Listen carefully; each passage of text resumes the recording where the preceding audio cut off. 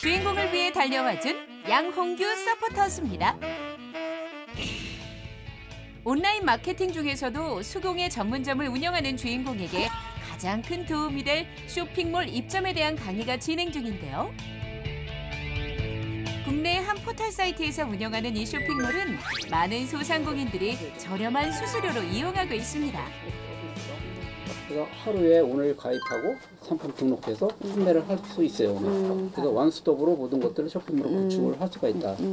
중요한 거는 이제 이 포털에서 고객들이 눈에 잘 띄어야 되잖아요. 그쵸. 잘 띄려면 블로그 같이 화면 노출을 해야 돼요. 이 순서를 쭉 정해서 나열을 하거든요, 랭킹에.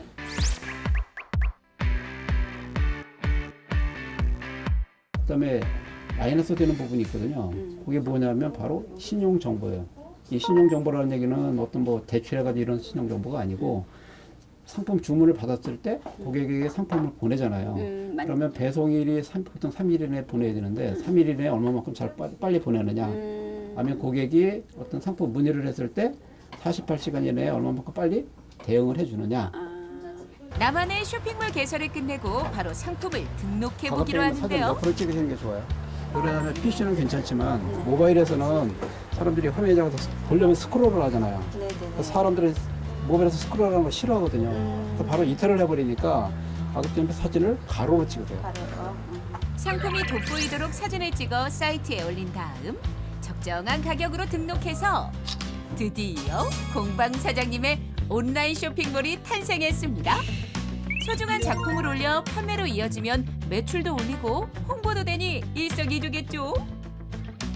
처음에는 어리둥절을 하고 컴퓨터에 잘 모르니까 조금 어려웠는데 워낙 친절하고 꼼꼼하게 잘 알려주셔가지고 어, 잘 이해가 되고요. 어, 좀 더 열심히 해서 어, 잘할 수 있도록 하겠습니다. 공방 사장님의 가장 큰 고민인 간판 문제를 해결하기 위해 나섰다. 으라차차의 특별한 솔루션 간판 시공. 정감 있는 주인공과 공방의 이미지에 어울리는 입체 간판 작업을 진행하는데요. 개성 있고 멋스런 간판을 기대해 주세요. 한편 가게 내부에선 고객의 눈길을 사로잡을 진열 작업이 한창인데요. 어, 진짜 너무 멋있어요. 아니, 너무너무, 어, 괜찮으세요? 너무 괜찮아요. 어머나. 전문 매장에 것처럼 네. 너무 멋있어요. 음, 사장님 작품이 너무 좋아요. 근데 작품이 빛이 안 나는 이유가 뭐냐면 작품과 작품 간에 간격이 없어요. 손을 넣을 수 있는 최소한의 간격을 비워둬야 이 제품을 만져봐요.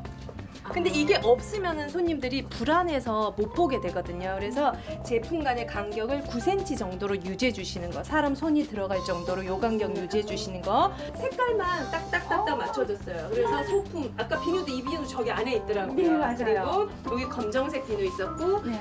이제 세 번째 제일 중요한 게 제안을 해야 되는데 첫 번째가 여기가 결혼 선물 zone이에요. 그래서 다 결혼할 때 쓰는 용품들을 다 모아놨어요. 선물로 갈 수 있는 것들. 그리고 결혼하고 난 다음에 그 다음에 아기가 태어나잖아요. 네, 네. 그러면 아기 돌잔치 선물에서 두 번째 칸에 돌잔치. 그 모든 진열을 할 때 막 진열하시면 안 되고요. 네. 주제에 맞춰서 story line으로 연결시키면 훨씬 더 좋아요. 제 작품이 이렇게 멋있었나요? 본인 작품이에요. 자, 그리고 여기 사장님 네, 잠깐 밖으로 나가 보세요. 네. 짜잔 짜잔 짜잔 짠 짜잔 짜잔 짜잔 짠. 우와, 웬일이야. 어머머, 어머, 손님이 진짜. 건방이다. 어, 너무 예뻐요. 눈에 확저 띄죠. 항상 진정한 마음에 좀 걸렸거든요. 진짜 너무 예뻐. 어, 너무 감사합니다. 제가 사장님이랑 닮았어요.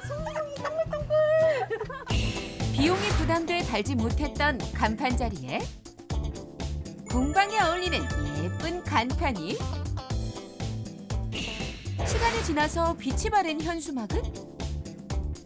수강생을 마구마구 늘려줄 상큼한 현수막으로. 특징 없이 나열돼 있던 진열대는 주제와 색상, 간격을 유지하며 작품이 돋보이게 하는 스토리가 담긴 재미있는 진열대로 변신했는데요. 꿈꾸던 공간으로 다시 태어난 공방에서 사장님의 멋진 활동 기대할게요.